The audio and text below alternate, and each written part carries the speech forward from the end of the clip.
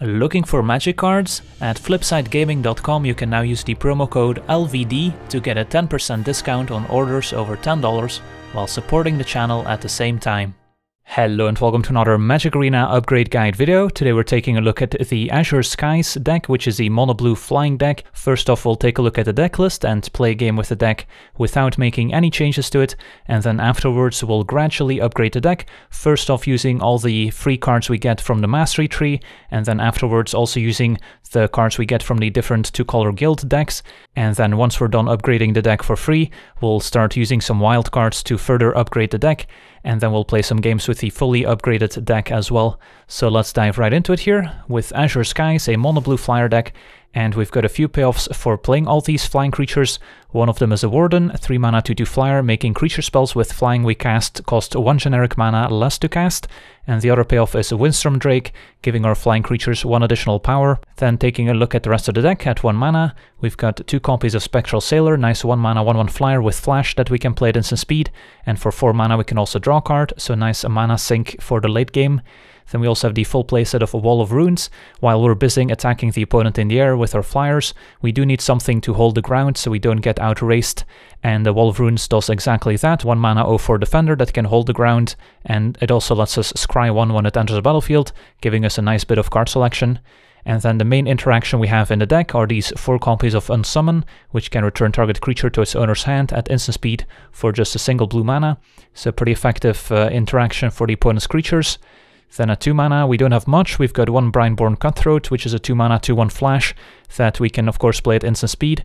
And then whenever we cast a spell during an opponent's turn, we can put a plus 1 plus 1 counter on the Cutthroat, so plays nicely alongside other instant speed spells, like the Unsummon, for example. Then we also have three copies of Sky Theater Strix, which is a 2 mana 1 2 flyer that says whenever we cast a non creature spell, the Strix gets one additional power until end of turn, so plays well with our instants and sorceries. Then at 3 mana, we've got a ton of cards. Cloudkin Seer is great as a 3 mana 2 1 flyer that draws a card when it enters the battlefield.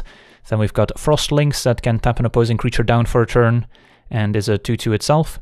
We've got a Leapfrog as a 3 1 that can gain flying if we cast an instant or sorcery spell this turn. We've got the Warden, of course, and then four copies of Winged Words, which costs one generic mana less to cast if we control a creature with flying, so that's another payoff card for playing all these flyers, and lets us draw two cards, and drawing two cards for two mana is a pretty efficient rate, so if we can get a cheap flyer in play first, then the Winged Words is quite good. Then at 4 mana we've got a Dungeon Geists as a nice removal spell slash creature, 4 mana for a 3-3 flyer, and when it enters the battlefield we can tap down an opposing creature, and that creature is not going to untap for as long as the Geist is around, so very similar to the Frostlings, but we'll keep it tapped down permanently.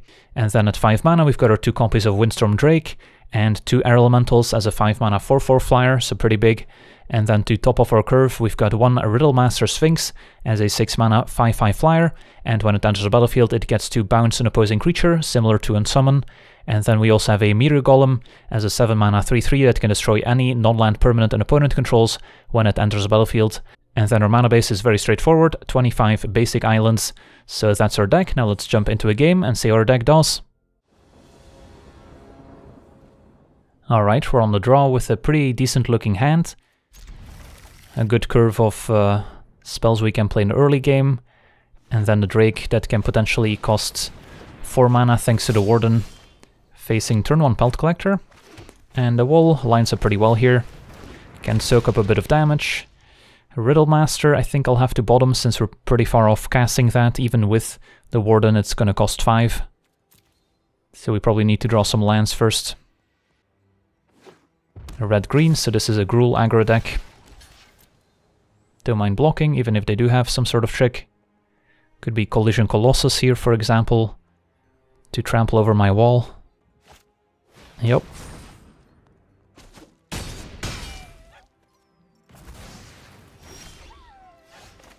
Now I don't mind trading my Cutthroat for the Pelt Collector, since the Pelt Collector threatens to become a lot bigger over time. Domri is also pretty good. Could keep the Cutthroat to try and pressure Domri. So this is a tough choice. I think I'm just gonna go for the trade here.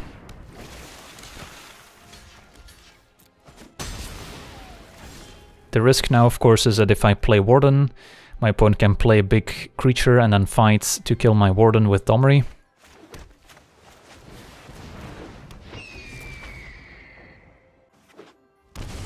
So they potentially have 5 mana, if they use Domri for mana as well here.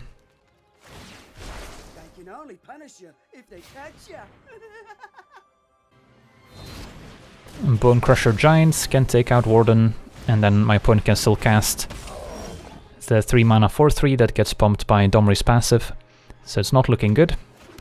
Unsummoning the Giants doesn't feel great, and the Windstorm Drake is just not gonna be very impactful without any flyers in play.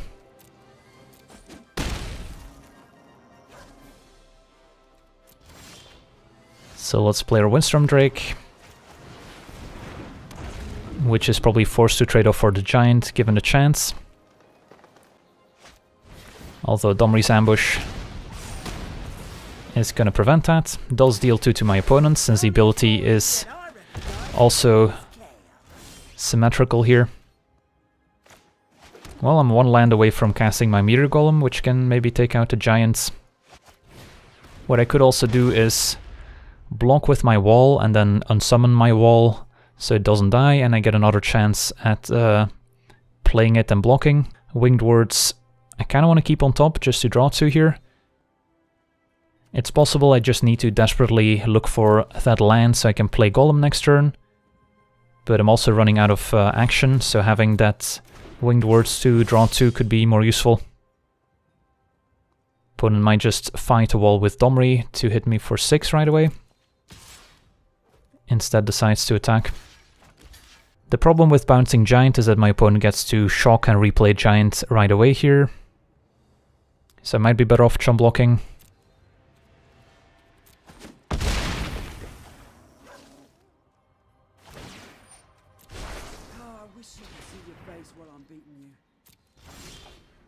So let's cast the Winged Words.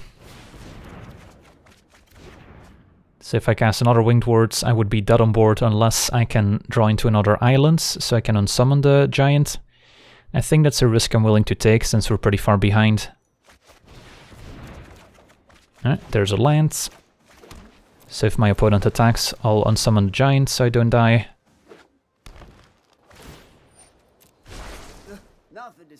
And then next turn I could Meteor Golem to take it out.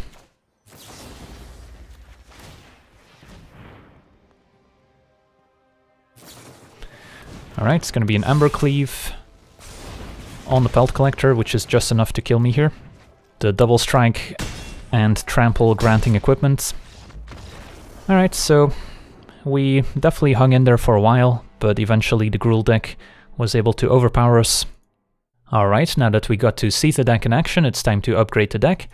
And we'll start with all the upgrades we can get through the account mastery tree, which you get with a new account. And the first upgrade is called the Path of Perfection upgrade, which gives you a fourth copy of Cloudkin Seer, and that will automatically suggest to cut one copy of Frostlings if you accept the game's suggestion. So we'll make that same swap here. So we'll add one Cloudkin Seer and cut one Frostlings from the deck. Next up, if we follow the account mastery tree and unlock one mastery orb, we could get the high altitude upgrade, which introduces two additional copies of Windstorm Drake. So we'll add those as well here. And we also unlock one extra copy of a Warden. So we get up to four copies there as well, the two payoff cards for playing all these flyers. So that's definitely a nice addition. And to make room for these three cards, the game automatically suggests to cut one more copy of Frostlings. And the game also recommends to cut two copies of a Leapfrog, which we will do as well. Next up, if we keep following the account mastery tree, we can also get the confiscation upgrade, which introduces one copy of a Verity Circle to the deck, which is a rare enchantment that says whenever a creature an opponent controls becomes tapped, if it isn't being declared as an attacker, we can draw a card, and for 5 mana we can tap target creature without flying an opponent controls, so we can also draw the card with the ability. So it has a bit of synergy with cards like Dungeon Geists. We did just got two copies of Frostlings from the deck, which did synergize with the Verity Circle, but uh, we'll add it to the deck for now. But this is definitely one of the first cards that we will end up cutting as soon as we start making our own upgrades. But the two more exciting additions from the Confiscation upgrade are a second copy of Dungeon Geists, which is great, and then also an extra copy of Brineborn Cutthroat. Go up to two copies there as well. And then to make room for these cards, the game suggests to cut the three copies of Sky Theater Strix, so we will follow these instructions as well. Next up we get to the Intellectual Superiority upgrade, which contains one copy of Negates, the 2 mana counterspell for non-creature spells. Next up we also get one copy of Mass Manipulation, which is a very powerful card if we have a lot of mana, so at least 6 mana before x equals 1 and we can steal one opposing creature or planeswalker, and then 8 mana before we can steal two things. So this is pretty expensive in a deck that generally wants to be pretty aggressive, but of course if we can pull it off, it can be a game-winning play. So we get one of those, and then we also get a second copy of a Riddlemaster Sphinx as another powerful curve-topping flyer that can bounce an opposing creature. And then to make room for these cards, the game automatically suggests to cut three copies of Unsummon, which is a little bit questionable since we're adding some expensive cards like Mass Manipulation and Sphinx, and we're cutting some of our only cheap interaction, but I'll keep following the game's suggestions here and cut three Unsummons. So this is where we end up if we follow the upgrades from the account mastery tree, so we haven't had to use any wildcards yet. And next up we can keep upgrading the deck for free by using some of the cards we can find in the two-color guild decks. And the first guild that can give us some new cards is the Azorius Guild, which is blue-white. And in the Azorius deck we find two copies of Arrester's Admonition, which is a nice 3 mana instant speed bounce spell, similar to Unsummon, but it has Addendum. If we cast a spell during our main phase, we also get to draw a card, so it has a few similarities with the Teferi Time Raveler, but of course doesn't leave behind a Planeswalker. So we'll add two copies of Arrester's Admonition. This will also help fill the void left behind by Unsummon. Then we also get to add one copy of Precognitive Perception, which is a nice 5 mana draw spell that lets us draw 3 cards at instant speed, and it also has Addendum. If we cast this spell during our main phase, we get to scry 3 before drawing 3 cards, which is a nice upgrade. So we'll add one Precognitive Perception, and then finally, we also get to add one copy of Warrant Warden, which is one of those split cards, and we're only really interested in the warrant half of the card, which for double blue can put target attacking or blocking creature on top of its owner's library at instant speed. You could add some blue-white dual lands to help you cast Warden, but just the warrant half of the card is pretty nice as well, so we'll add that to the deck. And then to make room for these four new cards, we're gonna cut the Meteor Golem, which is a bit expensive at 7 mana. I also don't mind cutting the Mass Manipulation, while powerful, it's uh, pretty difficult to pull off a big mass manipulation in this deck, since we're not very good at getting to the late game in the first place, as we lack the needed interaction or ramp. And then I also don't mind cutting the Verity Circle, which is a bit clunky, and uh, it's kind of difficult to trigger the Verity Circle without using the ability, since we only have the two dungeon Geists that really synergize with it, and it also doesn't tap down flyers, which given that most of our creatures fly, are the biggest uh, potential problems from the opponent, as we would like to tap down bigger flyers from the opponent, like maybe a big Hydroid Krasis for example, so the circle doesn't help us there either. So I'll cut the circle, and now that we've got some pretty mana intensive cards, like the Manipulation, which can cost at least 6 mana, the Meteor Golem at 7, and even the Verity Circle costing 5 mana to be used is pretty mana intensive, we can get away with cutting an island and going back down to 24. Then we get to Dimir, the blue-black guild, which gives us two copies of a Night Nightveil Sprite, a 2-mana 1-2 flyer, that whenever it attacks lets us Surveil 1, which is very similar to Scry 1, giving us a bit of card selection, so we make sure we can keep hitting our land drops, and in the late game we can put those lands in the graveyard instead of flooding out. So we'll add two Night Nightveil Sprites, and to make room for the two Nightveil sprites, I don't mind cutting the two Brineborn Cutthroats at 2 mana as well, since while we do have a few instants that can synergize with the Cutthroat, we're not like a blue-green flash deck playing a bunch of instant speed flash creatures and counter spells to synergize with it. For the most part, we're tapping out in our own turn, so the Cutthroat's not going to accumulate a lot of plus 1 plus 1 counters, and a 2 mana 2 1 is not too impressive, so those two can go. And this will also conclude all the upgrades we can find in the two-color guild decks, since in the Izzet deck there's nothing really worth adding. You could consider Murmuring Mystic, as it does make some 1-1 flyers whenever we cast an instant or sorcery, but we don't really have enough instants and sorceries to really make the Mystic worth it. And then in the blue-green deck, the Simic deck, we also don't really find anything worth adding to the deck. So here's where we end up if we upgrade the deck using the account mastery tree upgrades, as well as the cards we can find in the two color guilds. And then from here, we can further upgrade the deck using some wild cards. We will start with all the commons we can add to the deck, followed by all the uncommons, the rares and the mythic rares. And we'll also try and go in order of importance if there's multiple cards at a certain rarity, so you can maybe prioritize certain cards if you lack the wild cards to get all of them at once. So at common, the only card we're really interested in adding to the deck is going to be the Fairy Miscreant. So this is not the most impressive 1-drop ever, but it is a 1 mana 1-1 flyer that will occasionally draw a card when it enters the battlefield if we control another copy of Fairy Miscreant, and our deck can potentially draw quite a few cards between cards like Winged Words and Cloud Seer, so it's not impossible to end up with multiple Fairy Miscreants, and if this does draw a card upon entering the battlefield, it's actually pretty decent, since our deck does want to find a lot of cheap flyers to then benefit from cards like Windstorm Drake and other various Anthem effects. And uh, Miscreant also makes it so we can more reliably cast a Winged Words on turn 2, since right now our deck doesn't really do much on turn 2 other than maybe playing one of our other 1-drops, but now with 4 additional copies of Fairy Miscreant, the curve of turn 1 Miscreant into turn 2 Winged Words becomes a lot more realistic, and that will help us with our 2-drop situation as well. So we'll add 4 Miscreants to the deck, and to make room for the four Fairy Miscreants, we will end up cutting all four copies of Wall of Runes.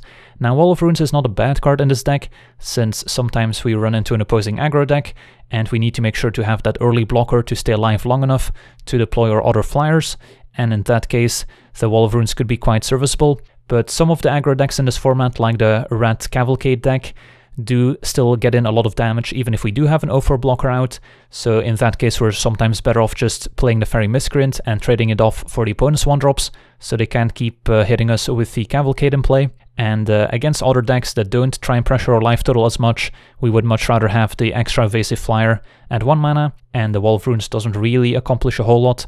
Imagine playing against the Field of the Dead deck, for example. They don't really do much in the early turns, so Wall of Runes wouldn't be very helpful, and then once they do win the game, they usually win the game with an army of zombie tokens, and then Wall of Runes is not really going to make the difference, and we're just better off being more proactive ourselves and try to kill the opponent. So we will cut the 4 Wall of Runes, then we can add some uncommons to the deck, and a nice one from Throne of Eldraine is Hypnotic Sprite, which is a 2 mana for a 2-1 flyer, but it also has an adventure at instant speed called Mesmeric Glare, which for 3 mana can counter target spell with convert mana cost 3 or less, so it can be a nice bit of disruption. And of course, we can always just cast a sprite on turn 2, but if we do decide to use the adventure first, then the creature will end up in exile, in adventure land if you will, and then we can still play the creature half of the card afterwards if the adventure successfully resolved, so we can get a bit of additional value, which is always nice. So we'll add all four Hypnotic Sprites to the deck. And next up we can also add 4 copies of Heraldic Banner, which also rewards us for sticking to mono blue. As it enters battlefield we choose a color, which in our case is going to be blue, and then all our blue creatures get plus 1 plus 0. So a very nice Anthem effect, very similar to what we get from a Windstorm Drake. But the upside of Heraldic Banner is that it doesn't die if our opponent plays a sweeper effect, for example, and still leaves us with a nice Anthem effect for all the future creatures we might end up playing, and our deck can be quite soft to those sweeper effects, since we're just playing a whole bunch of creatures that will end up dying if our opponent decides to wipe the board. So having something stick around like the Heraldic Banner is quite useful. And then of course the banner also taps to add one blue mana to our mana pool, which can help us ramp, can help us double spell more easily. In the late game we can spend that mana on activating Spectral Sailor, so we still get some good use out of it. And another nice thing about Banner is that we can tap it for blue mana the same turn that we play it. So turn 3 we can play Banner, and then run out an extra Fairy Miscreant or Spectral Sailor, so we can be pretty mana efficient.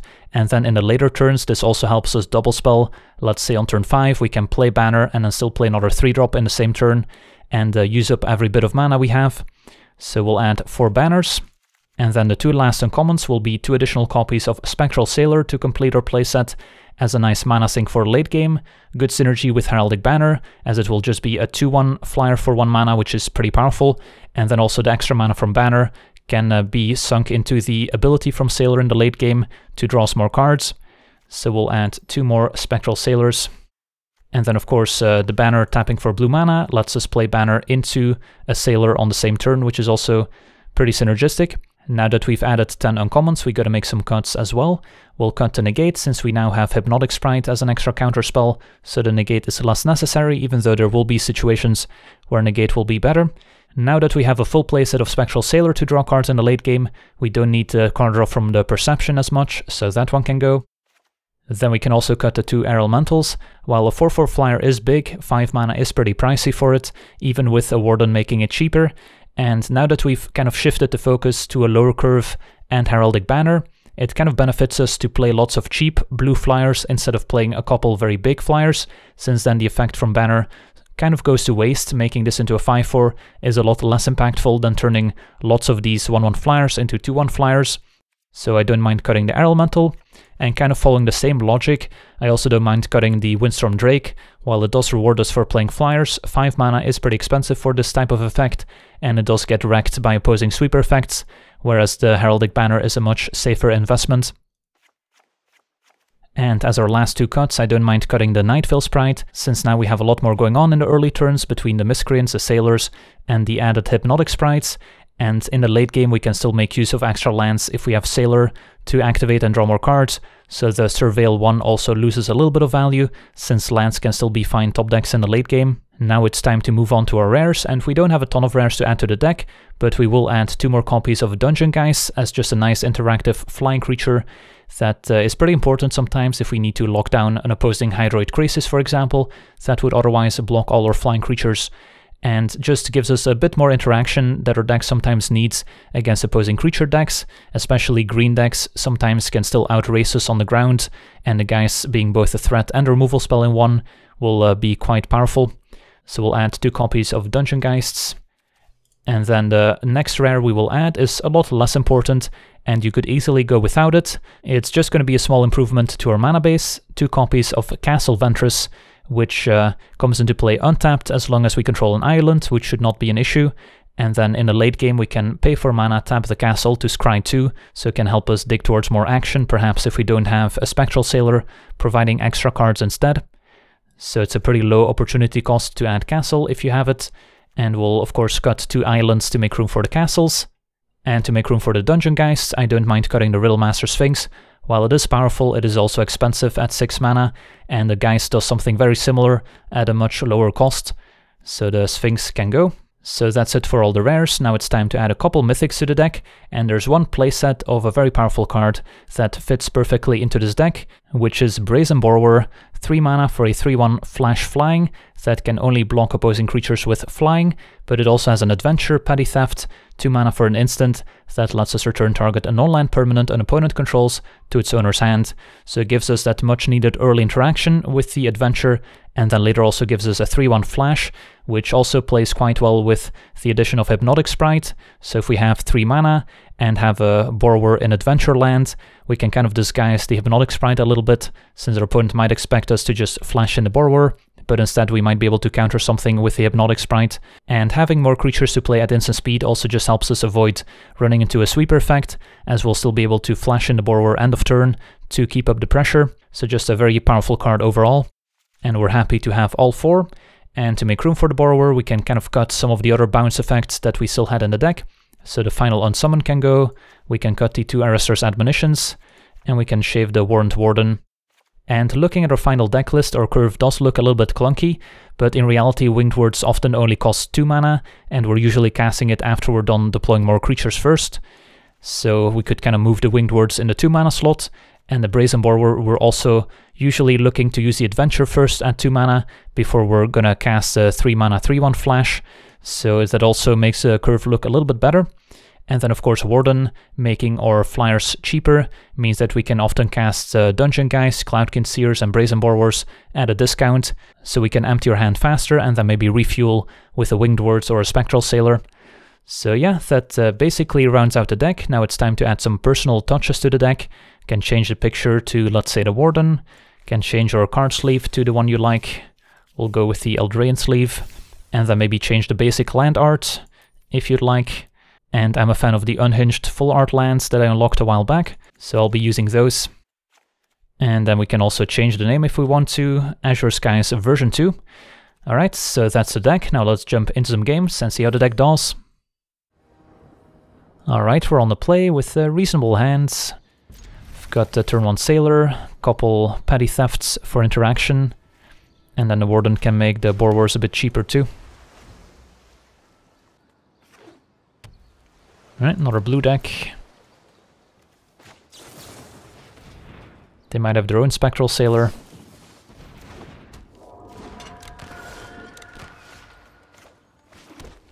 Don't really mind trading since we just picked up another one.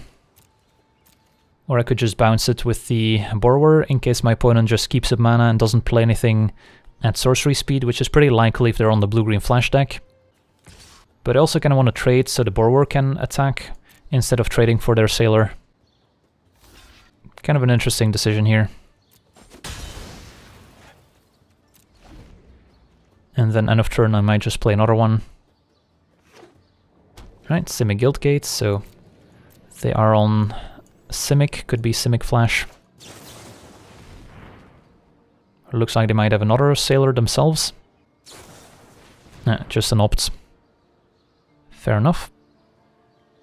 So my turn, probably gonna play the Warden.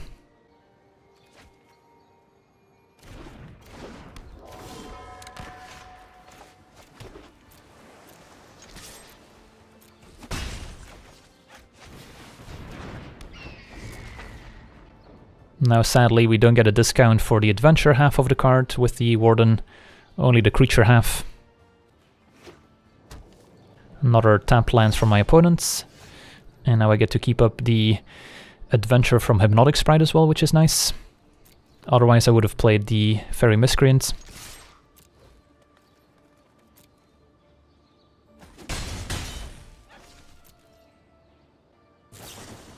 And after an opt I could counter, but I think I'll wait.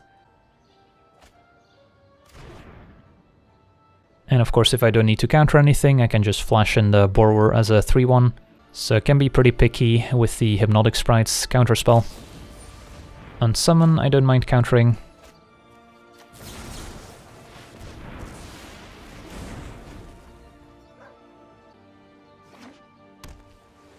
So now we gotta watch out for potential Frilled Mystics or Nightpack Ambushers. Which we can handle with the Brazen Borrower's Petty Theft at least. I should probably go full control since my opponent can flash in potential blockers.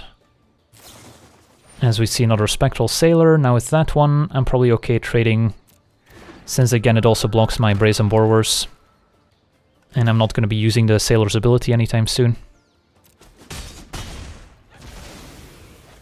Now I could play the Sprite and then still have both halves of the Borrower at the ready, although that does potentially run into an opposing counterspell, which we don't have to play into. I can just play my uh, flash creatures end of turn to circumvent that.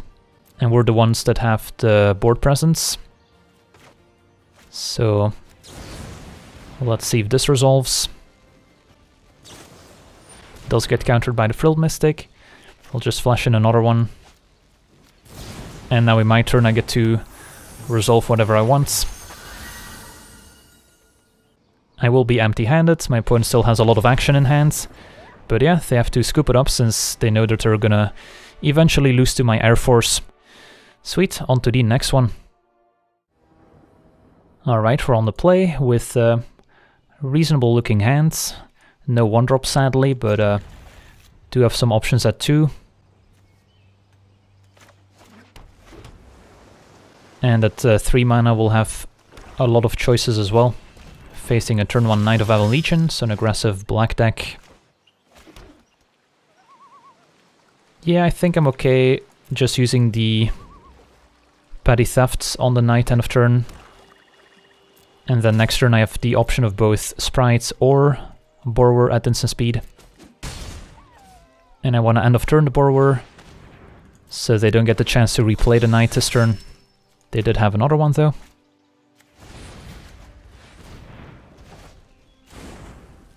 But I might be able to counter knights with the sprite on the way down. And then the other one I can maybe lock down with the dungeon Geists, we'll see. If my opponent's play is just to pump the Knight of Ebon Legion, then I can just flash in the Brazen Borrower instead. Well, Spawn of Mayhem is a 4-drop, so I can actually counter it with Hypnotic Sprite, so that's unfortunate.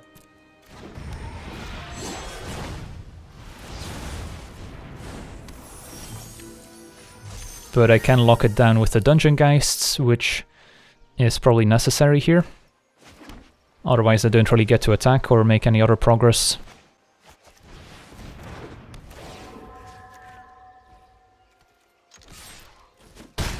So now we're just trying to raise Knight of Ebon Legion on the ground, which may or may not work out. Alright, it's gonna be Rankle, Master of Pranks, which uh, is pretty good here since they can force me to sacrifice a creature, which if they can just sacrifice Spawn of Mayhem, which doesn't cost them much, but then I can just sacrifice a Brazen Borrower instead.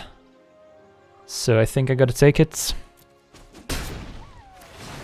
And once the Spawn of Mayhem gets sacrificed, of course I can afford to lose the Dungeon Geists. Opponent's making me discard. It's either the Cloudkin Seer or the Winged Words, I think. And I think I'll ditch the Winged Words. Sacrifice a Borrower. The Knight also grows, 3 from Rankle, 1 from the Spawn of Mayhem. Warden is almost useful. Doesn't give me a discount on the Sprite, sadly. So as much as I would like to counter this Knight of Ebon Legion, I think I'm forced to kind of tap out here, otherwise my opponent can decide to just pump Knight instead, and uh, then I'm not really making any progress.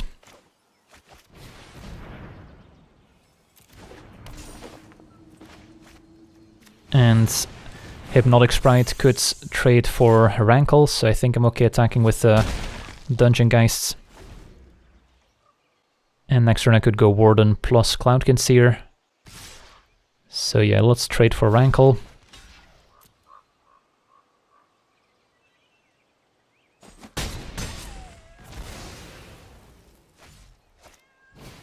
Another Knight.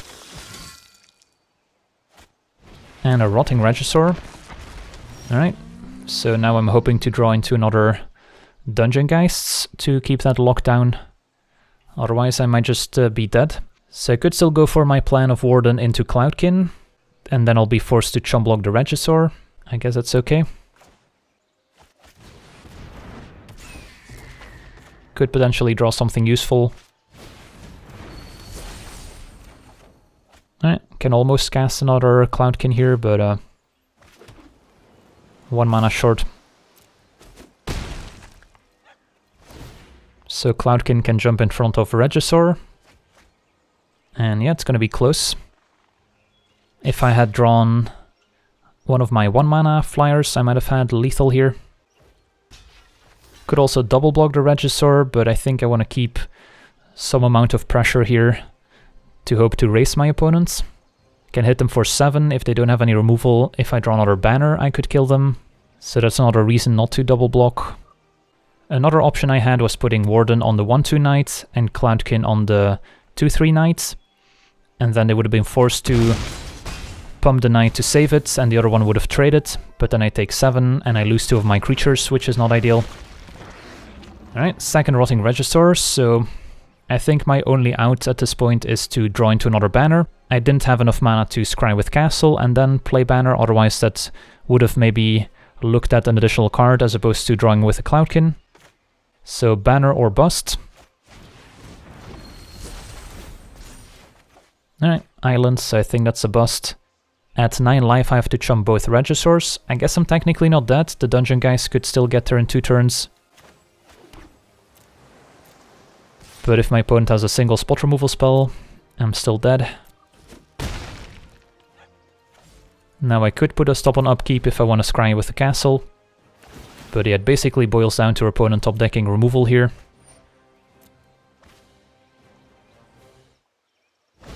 And yeah, Murderous Rider is uh, the perfect top deck here. Kills a Warden. And my opponent gets to attack for lethal. So it looked pretty bad, but we actually had a pretty decent chance of winning before my opponent top decked uh, their Murderous Rider down to 2 life, so yeah, couldn't be any closer.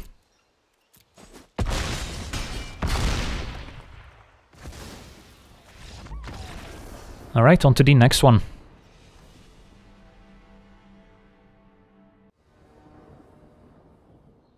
Alright, on the draw with a reasonable hand, couple 1-drops, Winged Words to draw more cards and hopefully hit our land drops. Opponent on turn 1 Island and Secretkeepers, their opponent's on Mill. Fair enough.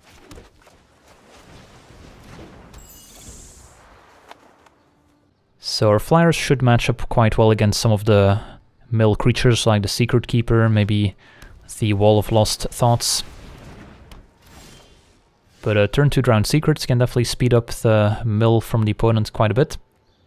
And we don't have the fastest hand, no banner to pump our team. Could of course just bounce the uh, Drowned Secrets, which would be fine too. Yeah, I think I'll do that. Kinda slow down the opponent a little bit. The alternative, drawing two with the Winged Words. Not too interesting when I already have a third land lined up here. Alright, they are playing black as well. So, mills me for two. Another castle. So I could main phase the Borrower if I wanted to play around one of their 3 mana counter spells like Didn't Say Please, which uh, is reasonable.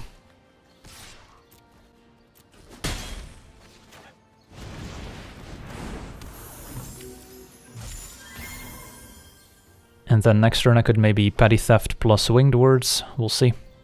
The downside of course of running out Borrower in our uh, own turn is that we could now potentially lose both creatures to a sweeper effect. Opponent says go. I'll start by attacking. Even if I winged words into a banner, I wouldn't be able to play it. So I still only have 6 cards in my graveyard, so they can't play an Into the Story for 4 mana. So they're likely hanging on to a counterspell. In which case, I think I'm just gonna pass a turn here. And then I can maybe end of turn play Borrower plus a Spectral Sailor. Another untapped Watery Grave and a Drown in the Loch to kill the Borrower. So yeah, they're likely hanging on to some sort of uh, 3 mana counterspell. I'll play the Spectral Sailor first, kind of to use it as bait.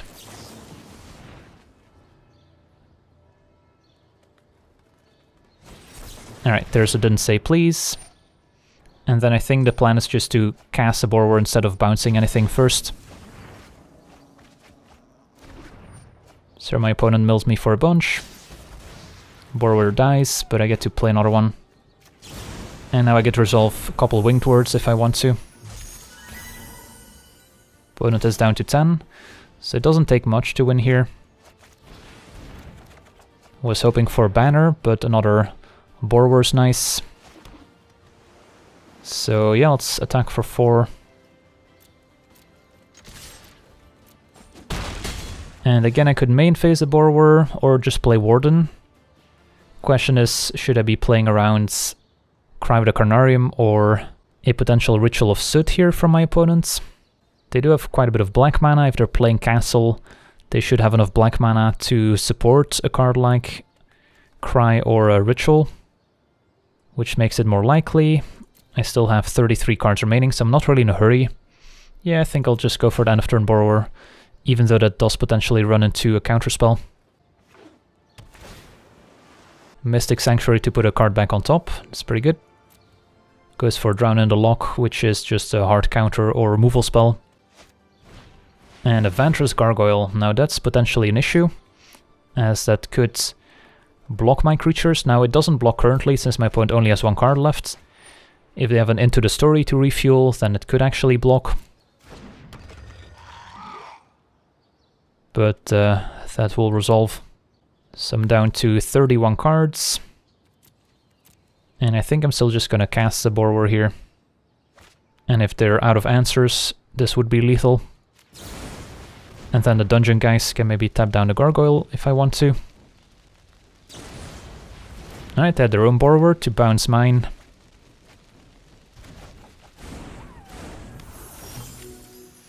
So their Borrower isn't in play yet, otherwise I would maybe tap it down with the Geists. I want to save the Geists to tap down their Borrower, instead of tapping down Gargoyle, which can block at the moment, since it's going to require 4 cards in hand. So I could instead Winged Words, in the hopes of finding a banner, which would win on the spot. And then I can still go for the end of turn borrower. And no banner. I could play Warden, but that doesn't let me play anything else at the moment. So let's attack for 4. There's no real difference between uh, playing the borrower at instant speed and getting it killed by the drown or getting it countered by the drown. But this gives them a bit less information. Alright, so they're gonna kill the borrower. That works.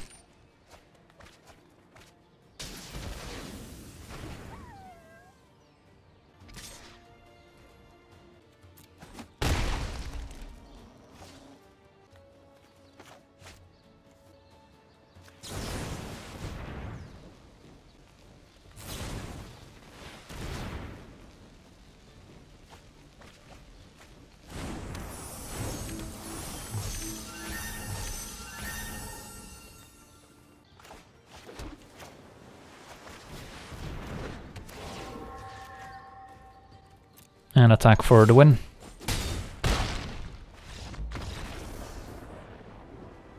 Alright, sweet. So we managed to beat Blue-Black Mill. As we could see, the mono-blue deck definitely can uh, win some games. It is soft to opposing aggro decks, especially mono-red decks, are going to have a pretty good matchup against us since they're still going to be faster than we are, and our deck's not very good at blocking, but we're definitely capable of beating slower decks. Even an army of zombie tokens from Field of the Dead and the Golos can't stop our flyers, and we have just enough interaction for Hydroid Krasis, so our flyers can keep attacking. And then once you're done upgrading this deck, you can still take it in two different directions. You could add white to introduce cards like Empyrean Eagle and Sephara if you like the flying tribal aspect of the deck, or you could add green and turn this into a blue-green flash deck with Nightpack Ambushers and more counterspells, if instead you prefer the flash creatures and counterspell aspect of the deck. So as you can see, there's a lot of ways to keep updating the deck. And uh, yeah, that's gonna be it for me today. Feel free to let me know in the comments which deck we should upgrade next, as we try to upgrade one deck per week. But for now, I wanna thank you for watching, hope you enjoyed, and as always, have a nice day. I also want to thank all my patrons for being part of the channel, and you can become a patron yourself today and decide the topic of future videos over at patreon.com forward slash legendvd.